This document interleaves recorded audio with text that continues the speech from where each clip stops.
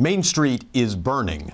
And the burning question is can dentistry survive this great recession? Hi, I'm Charlie Seymour Jr. And this is Dr. Marc Kossmann. And we just finished a terrific special report that we'd like to give to you. That's What's right. in that? We spent the last couple of months studying the ins and outs of the profession of dentistry, what's happening, trends, demographics, what's going to be affecting dentistry in the coming decade. Right. This may not be right for you, though.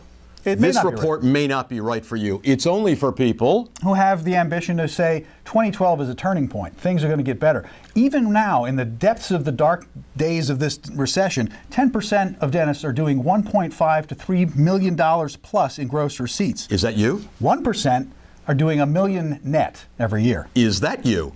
If you want to find out how to make that you, come in, get this special report. We've got an over an hour of audio right. from a webinar that we did to explain it even further. So put your name and email address in there. Come on in. It's get this free. special report. Because it's free. What he just said.